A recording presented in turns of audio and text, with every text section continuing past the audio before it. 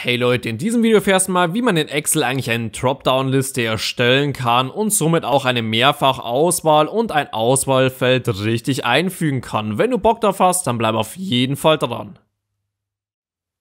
Ich habe vor mir als Beispiel mal eine Einkaufsliste liegen und hier möchte ich jetzt ein Dropdown-Menü dementsprechend erstellen, dass ich zum Beispiel hier hinten Getränke, Fleisch und auch Süßes auswählen kann, dass ich mich beim Einkaufen später einfach besser zurechtfinde.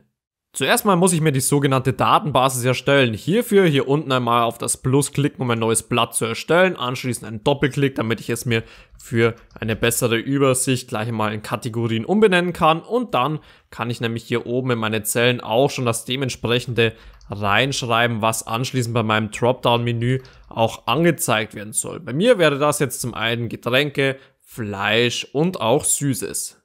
Wenn wir das haben, kann ich mal zu meiner Einkaufsliste zurückgehen. Anschließend gehe ich einmal in die erste Zelle hinein, wo anschließend auch mein Dropdown-Menü erscheinen soll. Muss danach hier oben bei Daten draufklicken. Anschließend rechts rüber zur Datenüberprüfung und jetzt muss ich bei Zulassen einmal noch hinklicken. Da steht bisher noch jeder Wert drin, das möchte ich nicht haben. Hier möchte ich nämlich Liste auswählen, dann können wir auch schon sehen, Zellen Dropdown, das passt soweit und ich muss natürlich auch noch meine Quelle auswählen. Hierfür einfach mal auf dem Pfeil nach oben noch draufklicken.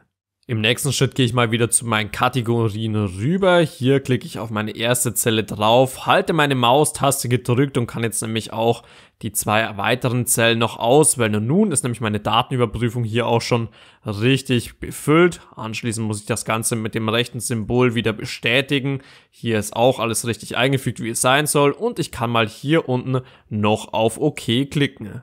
Wir sehen sofort, dass rechts neben der Zelle schon das kleine Dreieck erscheint. Wenn ich da draufklicke, kann ich dementsprechend auch schon die richtige Kategorie auswählen. Aber ich möchte zuvor das Ganze natürlich auch hier unten drunter noch haben, weswegen ich in der Zelle einmal rechts unten hingehe, bis dieses kleine Kreuz erscheint. Mit gedrückter Maustaste wieder nach unten ziehen. Und jetzt ist es nämlich vollkommen egal, in welche Zelle ich hier hineinklicke. Ich kann die ganze Zeit meine Kategorien dementsprechend auswählen, so wie ich es natürlich auch haben möchte. Und somit haben wir jetzt auch schon ein Dropdown-Menü in Excel fachgerecht eingestellt. Wenn du dir übrigens das derzeit beliebteste PC-Zubehör im Internet einmal anschauen und vielleicht auch etwas davon zulegen möchtest, dann einfach mal hier unten drunter in der Videobeschreibung auf den entsprechenden Link klicken und du kommst direkt zu Amazon zu den beliebtesten PC-Zubehörprodukten.